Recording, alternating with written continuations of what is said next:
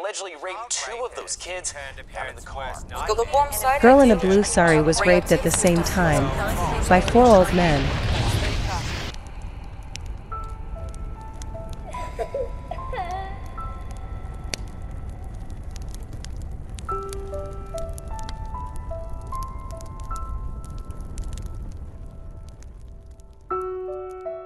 All the girls are here after a terrible crime spree, rape, sexual slavery.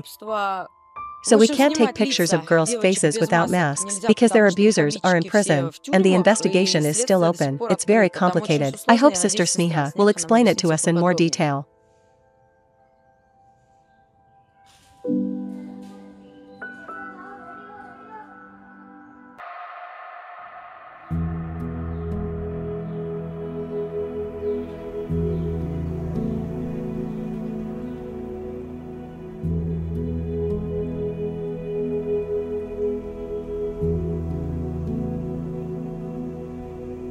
This is Sister Sneha, how to say, you're director of this place? Or? I am uh, and we call it women protection officer, women and children protection officer. So I need to protect them. So what is this place? It's not a simple orphanage. This is not just orphanage. This is a children come with a serious crisis and serious issues. Not ordinary simple. They come with uh, maybe gang rape, they may be sexually harassed by their family members. Uh, maybe mother's a domestic worker and she is leaving the child in the house. Her father is uh, sexually abusing the child. So what, what was the most terrible story happened to a girl? How do you think? Used by her own father. You cannot trust your own father, your own brother, uh, then on your own relative, maybe cousins. So that is the worst. So what? Uh, thank you first of all for what you do, but uh, the government is not uh, supporting because they support us. Eh? They support us. They are anytime like you know when we are, we especially the CWC. So food they can arrange for you like rice, dal.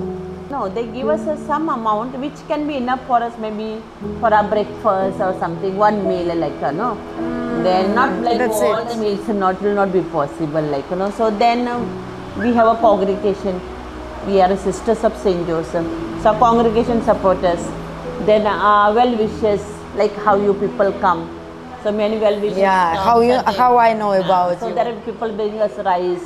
There are people bring us sugar. There are people bring us some provisions. So, so we live in people's uh, live in charity because we don't charge any child. Whoever comes completely, they don't only completely free, but we provide all their needs. A child comes and we have to give them first their inside clothes, outside clothes, their schooling, book, uniform, everything like uh, know. So the most uh, like you see, uh, nobody is like uh, suffering from hunger, uh, from cold, but we just need to finish this building to make it look nice. Is that what you want? That's is what there, we are looking. Is there anything else you want, or you just, or you just want to finish the building because it no, looks not so because nice? that is uh, that's our main concern. It's a long time it is not done. So we want the building to be little painted and look nice. But Even we've seen, we've seen yeah. the condition of buildings. It's we not a building for children, yeah. so.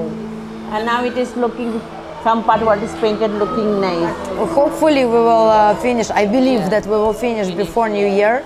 So 2024 you will meet in a perfectly yeah, because we need lots of work. We showed you everything and we showed you what we already did. Uh, so all the bank uh, amounts, how we collect money, it's all written, uh, each name of the person who donated, how much he donated, we all put in the list. So every person who donated can just open the list and find his own name there and to see how much he donated. Everything is under control and it's open, you can see that we are not lying every penny. If so we need lots of money to make these children happy. My, thank you, but you're so you so nice, so generous, so helpful, approachable. Anytime we can ask, and we are so simple. Yeah, yeah, yeah. It's, world, the world should be like this. So yeah, just very, join. Very simple, and you're ready to do anything. And children will remember this.